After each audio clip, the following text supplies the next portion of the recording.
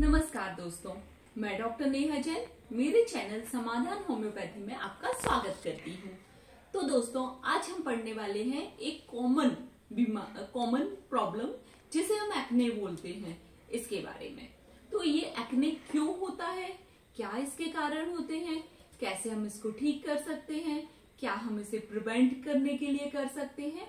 और कौन सी हम होम्योपैथिक मेडिसिन का इस्तेमाल करें? सबसे पहले एक्ने होता क्यों है? एक्ने जो होता है, वह सिवेशियस ग्लैंड का इन्फेक्शन और इन्फ्लेमेशन के कारण होता है। एक्ने के रिस्क फैक्टर्स क्या क्या है?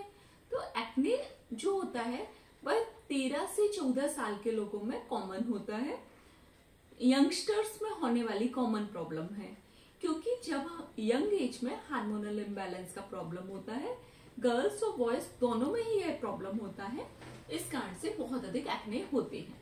सेकंड ऑयली स्किन भी इसका एक कारण होता है दोस्तों। स्किन में जब ऑयल ज़्यादा सीक्रेट होता है तो इसके कांटेक्ट में जब डस्ट डर्ट ये सब चीज़ें आती हैं तो उसके कारण से भी पिंपल्स हो जाते हैं दोस्तों। तीसरा, एक बहुत बड़ा कारण डेंड्रप भी होता है, इसको हम अक्सर अवॉइड कर देते हैं।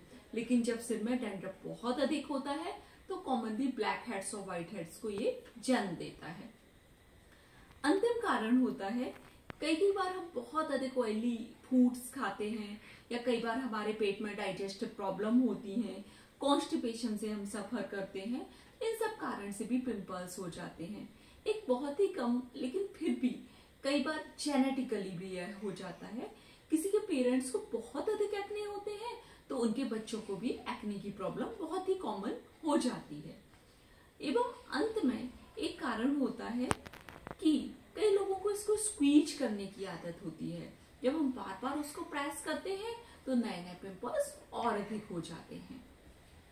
एवं जो लोग बहुत अधिक मार्केटेड फ़ूड वगैरह खाते हैं मैदा, मैदे से बने आइटम्स खाते हैं, उनको भी पिंपल्स की प्रॉब्लम बहुत कॉमन हो जाती है।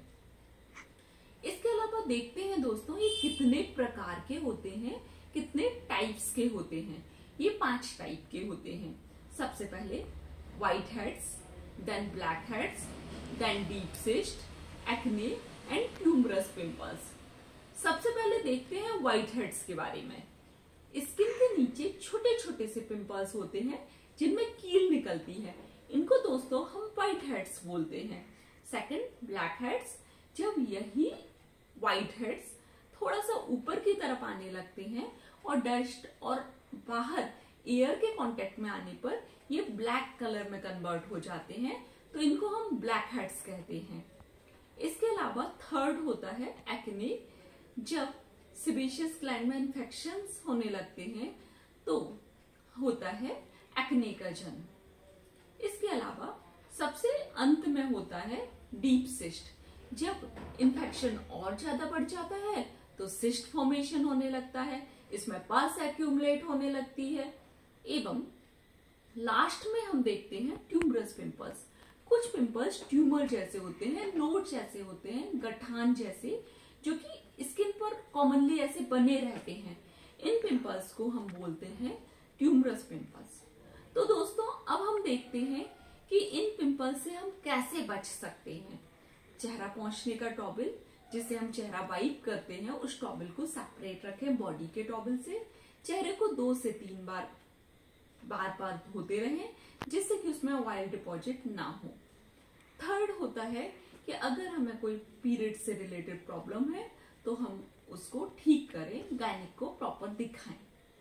फोर्थ होता है दोस्तों, हमको बार बार अपनी स्किन को टच नहीं करना है। क्या होता है, जब हमारी स्किन में बार बार कोई प्रॉब्लम हो जाती है तो हमारी कॉमन हैबिट होती है कि उसको हम इरिटेट करते ही रहते हैं। तो इस इस केस में क्या होता है, ये जो ब्लैक हेड और व्हाइट हेड्स आधे निकल पाते हैं और आधे स्किन के अंदर ही रह जाते हैं और वो री इन्फेक्शन को क्रिएट करते हैं। और दोस्तों, क्या होता है, जो ब्लैक हेड्स और व्हाइट हेड्स होते हैं, वो लंबे टाइम तक अगर बने रहते हैं तो इनके कारण पिंपल्स हो जा एक्ने स्कार हो जाते हैं। और जैसे हम देखें कि कील को अगर लंबे टाइम तक अंदर रखा जाए और बाद में बाहर निकालते हैं तो उसमें क्या होता है? दीवार में हमारे होल हो जाता है, छेद हो जाता है, गड्ढा हो जाता है। वैसे ही सेम लंबे टाइम तक ब्लैक हेड्स और व्हाइट हेड्स जब बने रहते हैं तो उसके कारण एक्ने स्कार की प्रॉब्लम्स बहुत कॉमनली हो जाती है। तो दोस्तों, अब हम देखते हैं इनकी होम्योपैथिक मेडिसिन के बारे में। तो सबसे पहली मेडिसिन आती है पल्सिटिला पल्सिटिला एक फीमेल मेडिसिन है, लेकिन मेल्स पर भी ये बहुत अच्छा काम करती है। इसके पेशेंट को थोड़ा रोना रोना आता रहता है। बहुत इमोशनल टाइप ऑफ़ पेशेंट्स होता है। हल्के से पक रहे हो पिंपल्स तब हम पल्सिटिला यूज़ कर सकते हैं। सेकंड एंटिम क्रूड इसका एंटिम क्रूड 200 इसमें जो टंग होती है पेशेंट की, वह व्हाइट कोटेड होती है एवं पेशेंट को अधिकांशता पेट से संबंधित प्रॉब्लम्स होती हैं और ब्लैक हेड्स के लिए बहुत अच्छी मेडिसिन है। इसकी हमें इसकी हमको अगर गोली में ले रहे हैं तो छह छह गोली दिन में तीन बार लेना है, और अगर हम बूंद में ले रहे हैं तो दो दो बूंद दिन में तीन बार लेना है। थर्ड मेडिसिन आती है नेट्राम्यूर नेट्राम्यूर 200 ऑयली स्किन के लिए बहुत अच्छी मेडिसिन है।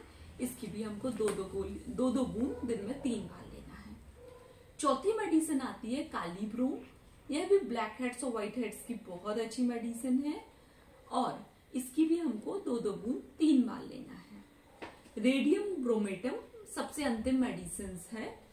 इसमें क्या होता है, क्लस्टर ऑफ़ पिंपल्स हो जाते हैं और स्किन काफ़ी ऑयली होती है और ये ब्लैक हेड्स, व्हाइट हेड्स की बहुत अच्छी मेडिसिन है।